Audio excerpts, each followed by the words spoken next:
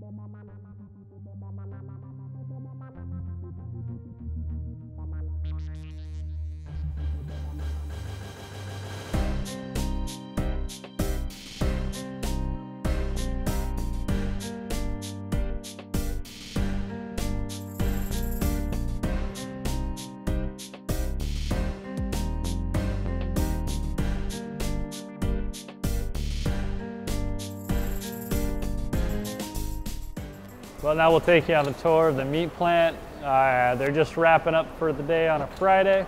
Uh, kind of a perfect time, a little bit of activity, but we kind of had the plant to ourselves. Um, so this is the office. We're coming in through the entrance and uh, we'll take you over to the raw processing first. We have the main wall that uh, runs down the middle of the plant everything that happens on this side of the plant is raw processing. So this is raw meat.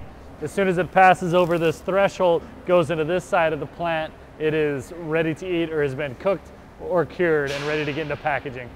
So we moved into this plant about a year and a half ago. It was a big warehousing plant for Tazo tea. It was all full of uh, pallet racking. We came in here and uh, mapped out what we thought would be a nice layout put in all the floor drains, moved the electricity, and kind of laid it out for the ideal, at least in our process, processing plant. Uh, here's where we have our tilt skillet and we do the majority of our cooking. Simple machine. You know, we cook all of our pate mixes in here. We'll boil up the ham brines. Rillette is made inside of here, et cetera,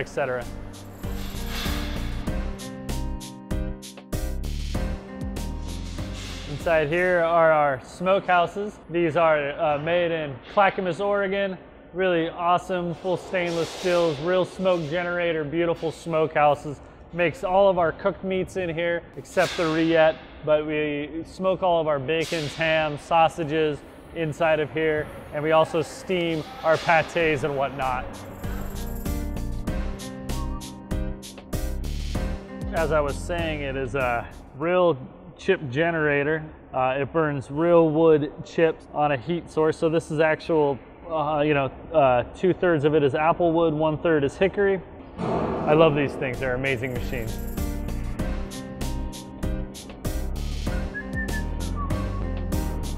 This is the USDA's office. Since they're here so much, they need a place to store all their files and make sure they're here. It's also the production kitchen's office. So you have the Josh Joe Pauly, all the guys have their production office right there, keep their files all safe and sound.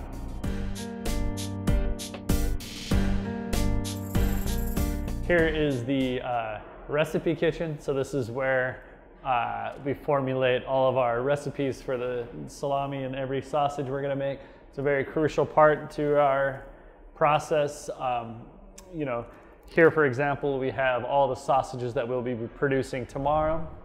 Um, I find it very important that uh, we use whole spices, for example. You see here we have the black peppercorn, so when we get in here in the morning at 6 in the morning to process, we'll run this through a coffee grinder, make sure we capture the freshest spices. Here you see there's fresh coriander, chili flake, and fennel.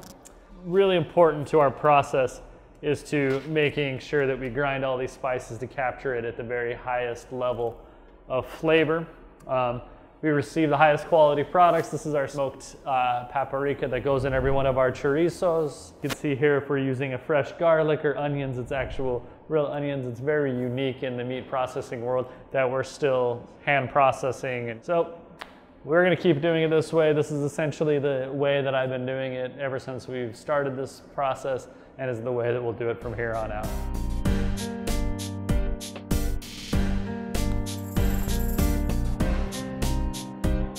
So this is our portioner. It is a Vemag Reiser machine. What happens during the week, we run our sausage lines this way. We'll set up all the tables.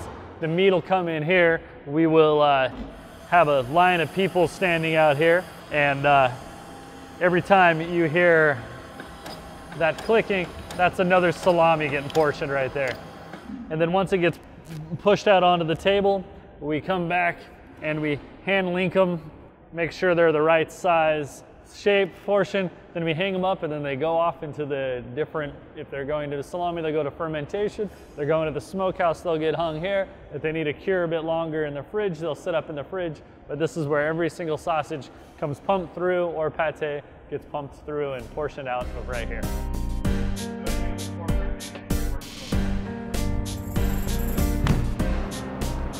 So here's the processing kitchen. This is where we sit and butcher and formulate all the sausages. So uh, we'll get all the animals in during the week. We'll have all the cutting tables up in the middle of the room and we'll be hand butchering here all day long, cutting up the pork, making sure it's all put in the right areas and getting it exactly where we want. This here is when I say we do 100% lean meat. This is a the hams and the legs that we completely deboned, took all the sinew and everything out. And this is what makes up the majority of the meat for our salami. And we have our sweetheart hams marinating back here. I'll go ahead and open those up and you can take a look at those too.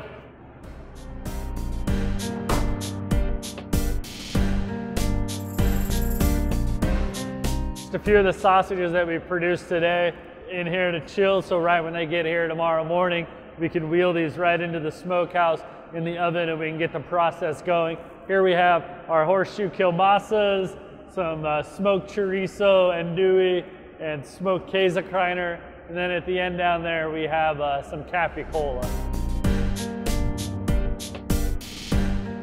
So this is the bowl chopper. Uh, besides salami, this is where everything is produced. This is a big bowl that rotates in a circle and we got eight big sharp blades that rotate really, really fast. And this is where we make all the emulsifications for all the sausages. Uh, it's also my station. This is where I get to work every day. So if I'm not answering an email, it's because I'm standing right here making sausage, which is the best. So this is the uh, salami incubator. Uh, what happens here is essentially a giant meat sauna.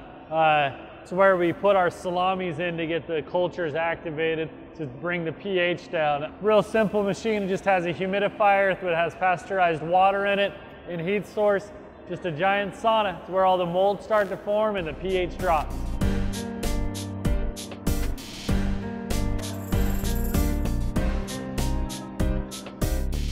Our dry box. This is the most crucial part of the entire process, but I really tried my hardest to find the right amount of trickle and the amount of air rotation and temperature control that develops something that is completely unique to us. We are using a completely natural mold on the outside. We like to call in the salami world is our house flora. So the salamis come in, they're all tied into knots like this. We come in every morning and we make sure that we uh, space them up so they're separated. If they touch, you'll see little lines. The molds won't form. They'll become anaerobic and make a different color. So every day we come in and we inspect every single one of them to make sure that they're hanging perfectly straight.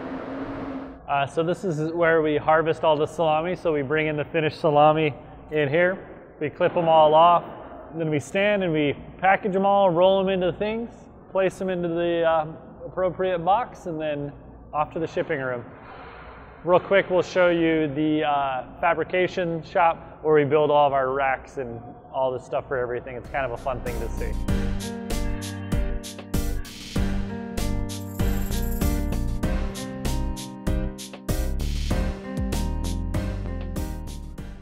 Yeah, so this is uh, our fabrication shop. This is where we bring in all of our steel to uh, build all of the racks we hang our meat on or smoke our meat on, all of the fabrication that we do for the restaurants, be it new uh, charcuterie boards or A-frame signs, anything for the farmer's market, we're able to build it back here. It's kind of one of our favorite parts of the whole plant.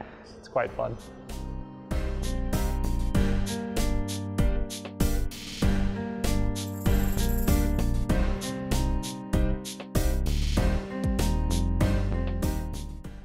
Is our packaging line. So the fresh sausage or the cooked sausages come in, we put them into our cryovac bags, and the super vac will run and seal it, seal it, pack it.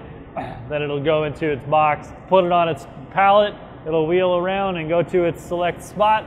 Then we'll ship it out to you. That's pretty much it.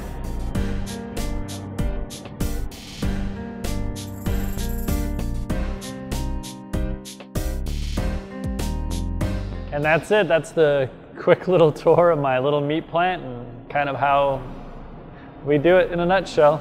Thanks so much. I appreciate it.